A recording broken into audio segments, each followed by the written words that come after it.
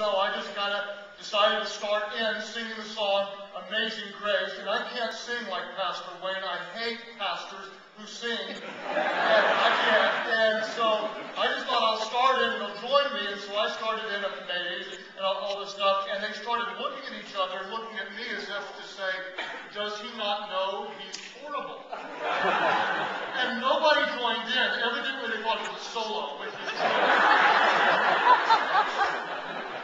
a nightmare. And so I closed my eyes and like, okay, God, this one's for you, and no one's joining in. And so I'm like doing this stuff, and all of a sudden I heard a fly. Flies, and, and, and I had my mouth closed, and I was hitting a, a high note, and a fly flew right into my mouth. And it, it, there's a dingling thing down there. I don't know what it's called. but It flew, it hit the dingling thing, and it dropped down just a little bit. And all of a sudden, I'm sitting there. I got somebody's great grandma in a casket right next to me. We're singing Amazing Grace, although I'm the only one singing it, and a fly's in the bottom of my throat. And I'm wondering to myself, what do you do now? I mean, what would you do? Do you swallow it? or do you hallelujah out there? What do you do? And so with very little time, I prayed and I just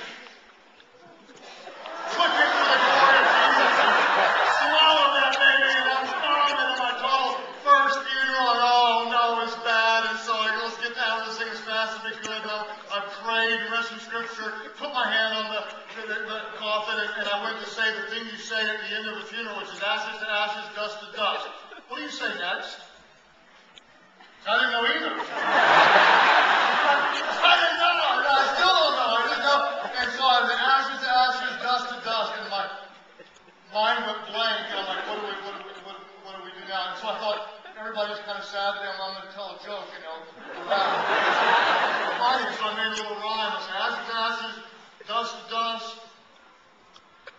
do you think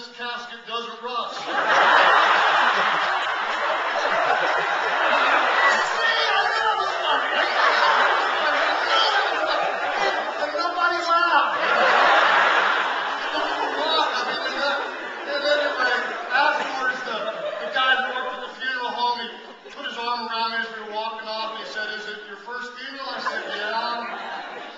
you. Think he said? Bless you.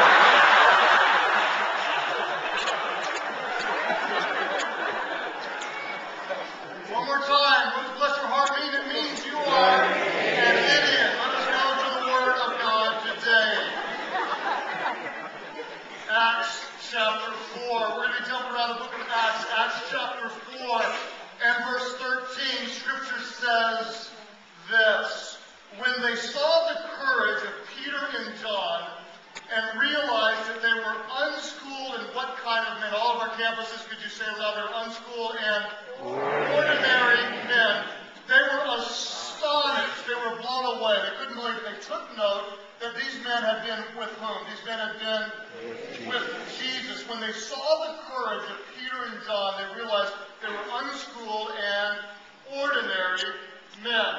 If you're looking at your notes, there's a little Greek word that's translated as ordinary. It's the word idiotes. Could all of you say idiotes?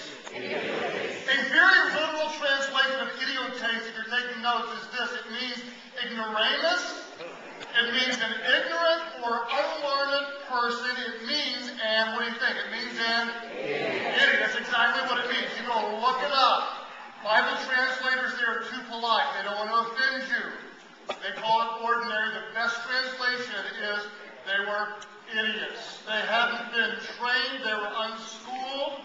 They were idiots. Now, if you were the most talented person in your high school, if you graduated at the top of your class, if you were the most popular or the best looking, I've got